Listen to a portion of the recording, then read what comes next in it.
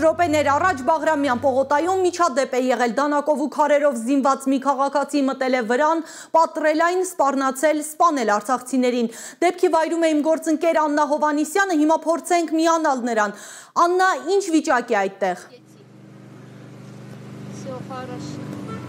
Բարի երեկո Լիլիթ, բարի երեկո հարգելի հերոսադիտողներ։ Այո, Լիլիթ, ինչպես ու նշեցիր, քիչ առաջ Բաղրամյան պողոտայում դեռ ժամեր առաջ հաստատված խաղաղությունը ընդհատվեց, մի փոքր լարված իրավիճակ եղավ, դու իհարկե մանրամասներ ներկայացրիր, որ այստեղ տեղադրված վրաններից մեկում միջադեպ է եղել, մի քաղաքացի, ինչպես ականատեսներն են պատմում, քարով որոշները նաև դանակ են նկատել նրա մոտ, մտել է վրաններից մեկը, ինչ որ սպառնալիքներ հնչեցրել արցախցիների հասցեին, որից հետո հայրենի կուսակցության անդամներից մեկը Արսեն Նիկողոսյանը փորձել է կանխել նրա սադրիչ գործողությունը եւ դրանից հետո իհարկե ոստիկանները միջամտել են հասարակական կարգը փորձել ապահովել դուք այդ կադրերը հիմա տեսնում եք մեր էկրաններին եւ մենք տեղեկացանք որ Արսեն Նիկողոսյանին բերման են ենթարկել ոստիկանները իհարկե տեսախցիկների առաջ չխոսեցին բայց հայտնեցին որ կա եւս մեկ բերման ենթարկված ընդհանուր երկու բերման ենթարկված կա ամենայն հավանականությամբ մեկ բերման ենթարկվածը հենց այդ սադրիչն է առաջարկում են պարզապես մի հատված դիտել առանց մեկնաբանությունների լարված իրավիճակից Ճալով էդի եկե մտել է ախտեր տալակ կա տղեկը ձեռից վեկալել են ու բազարը դուց ասկսել։ Ախմերն կռիվը ո՞րն է, մեռնեմ սախի։ Ինքնա, ինքնա, հրավերեն իա ցիլա են տղեմ Մենք ձեզ եկանք խաղալ, չէ, չէ։ Մենք մեր մարզեք ցերին, ընկերս բան չեն կարող։ Ախմերն Եղբայր քեզ թողել։ Մեր ծառայությունը մի խաղալ։ Բայց թեմը մի խաղալ։ Անաչ փորձը Աջարակի մտեղը բերեկարա Անգի Եսի կործել են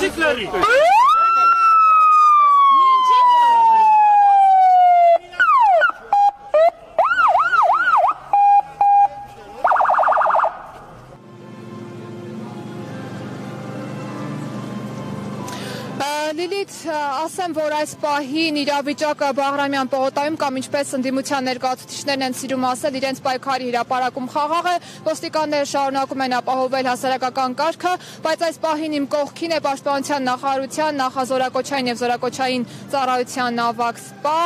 փոխգնդապետ Ռազմիկ Գևորքյանը, ով այդ ժամանակ է տեսակ կադրերում, որ միջամտում էիք, փորձում էիք իրավիճակը այսպես ասած թույլատնել լարվածությունը եւ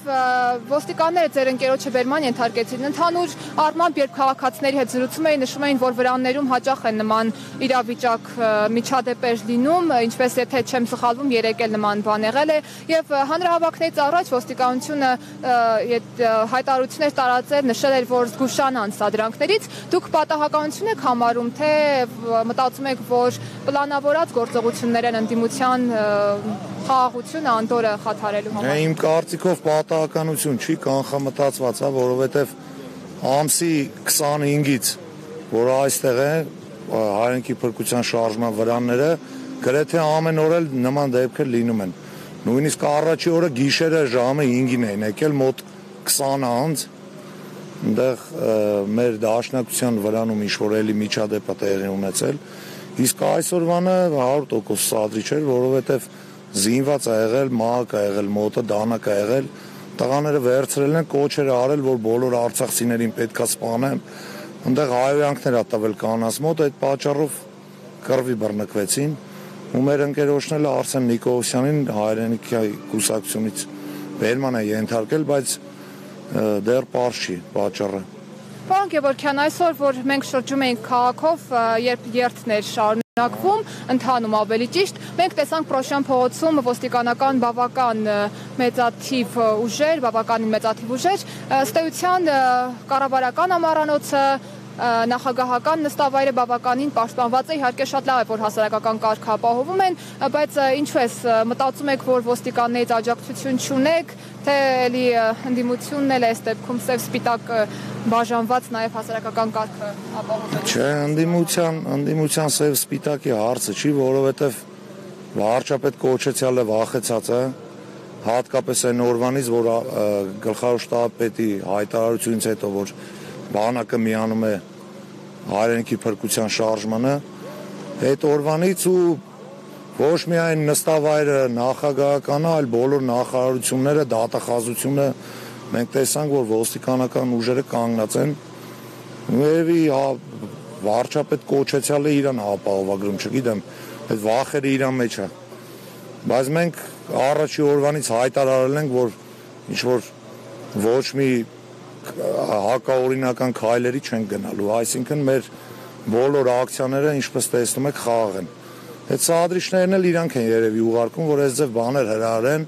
նկարանումներ կատարեն ու իրանք սադրիչին ուղարկում են, հետն էլ նկարողներ են ուղարկում, որ հետո գցեն համացանց, ասենք ասեն, որ իբր մեր կողմից է այդ գործողությունները, բայց դուք տեսնում եք, որ մեր կողմից ոչ մի հակաօրինական բան չի կատարվում։ Պարոն Գևորգյան, դուք դեկտեմբերի 22-ին ասացիք առաջին սպան եք եղել, որ դուրս եք եկել համակարգից պաշտպանության նախարարությունից, միացել եք ընդդիմության, այսօր քայլել եք Պրոշան փողոցով, եղել եք պաշտպանության նախարարության մոտ, դատախազություն, մինչև նորից էլի Բաղրամյան պողոտայի աջակցություն գլխավոր շտաբի պետ Օնիկ Գասպարյանի։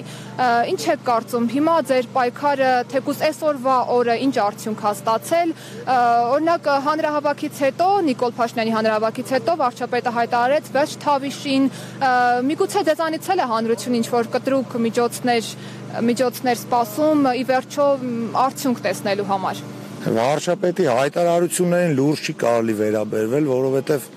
3 տարի վարչապետը ինչ հայտարարել է ոչ մի բանը իրականություն չի եղել արդյունավետ համարում եք այս նա սովորական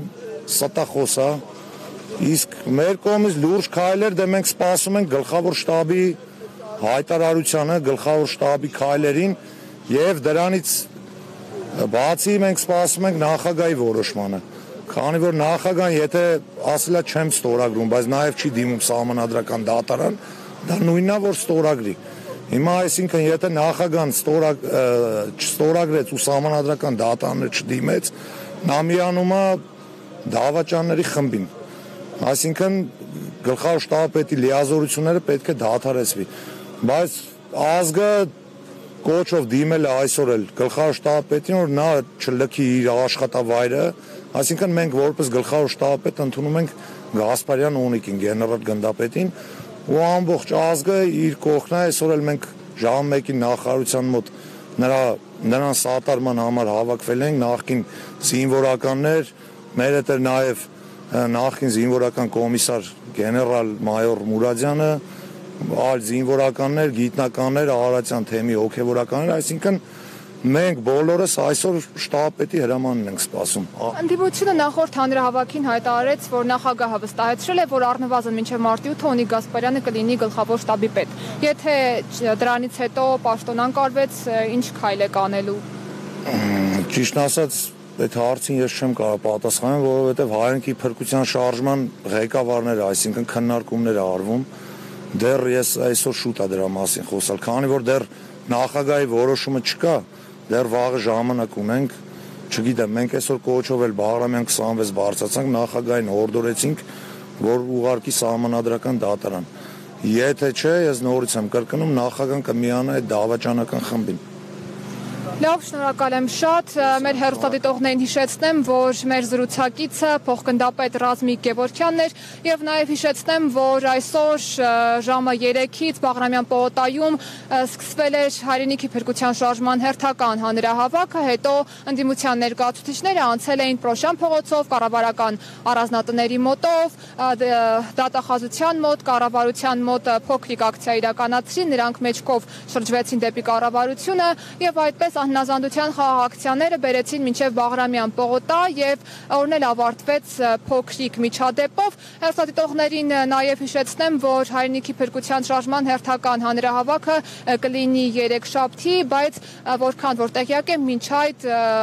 ոչ աշխատանքային օրը վաղը Կիրակի, այսինքն կլինի նաեւ մարզային այցեր։ Լիլիթ, այսքանը Շնորհակալ եմ Աննա, սիրելի հեռուստադիտողներ Բաղրամյան պողոտայից մեզ էր միացել իմ գործընկեր Աննա Հովանիսյանը։